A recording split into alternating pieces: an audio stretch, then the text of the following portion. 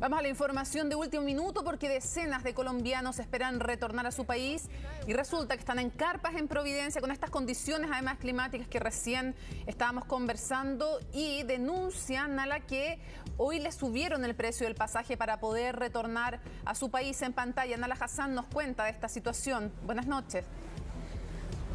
Buenas noches, Mónica. Y la situación que se vive acá realmente afuera de la Embajada del Consulado de Colombia es bastante crítica, no solo por el frío que se siente a esta hora acá en Santiago, sino también porque hoy estaba pronosticado, planificado un vuelo humanitario que iba a salir de eh, Santiago a Bogotá, Bogotá-Santiago. La idea en un comienzo era que 200 colombianos pudieran irse a su país natal y 200 chilenos pudieran retornar hasta acá. Sin embargo, ayer en la noche le avisaron que no iban a poder viajar e incluso, además de lo que ya habían pagado por el pasaje, le están pidiendo a algunas personas que tengan que pagar 200 dólares más. Aquí les voy a mostrar imágenes en vivo de lo que sucede a esta hora acá en la comuna de Providencia, donde es bastante crítica la situación y por supuesto algunos de los colombianos que tenían pasaje para retornar el día de hoy a su país eh, fueron al eh, aeropuerto hoy en la mañana y se enteraron ahí mismo que no iban a poder retornar a su país. Esto fue lo que nos dijeron.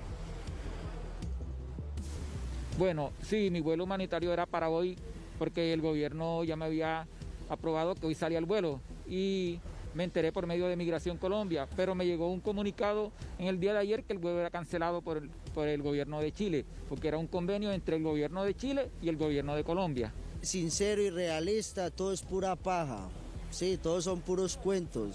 Sí, los tales vuelos humanitarios no son humanitarios, todos nos lo están cobrando. Les llegó un correo electrónico donde decía que se va a reprogramar el vuelo para el 17 de junio. Sin embargo, ellos van a tener que postular a, esa, a ese vuelo, ver si es que quedan y además pagar este excedente de 200 dólares que yo le estaba diciendo. Si quieren comprar el ticket, tienen que pagar 490 dólares para poder comprar ese ticket en el vuelo humanitario rumbo a Colombia. En estos momentos lo que más necesitan es carpas y también insulina. La historia de don Jorge que tiene 70 años y que ya lleva tres días sin su insulina y también sin morfina. Eso es lo que más necesitan en estos momentos acá en la comuna de Providencia. Sí, poco humanitario, poco puede llamarse humanitario ese vuelo y, lo otro, las condiciones en que están. Eh, hay también niños.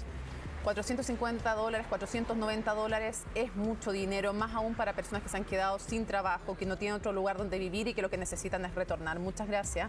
Seguimos en contacto. Buenas noches.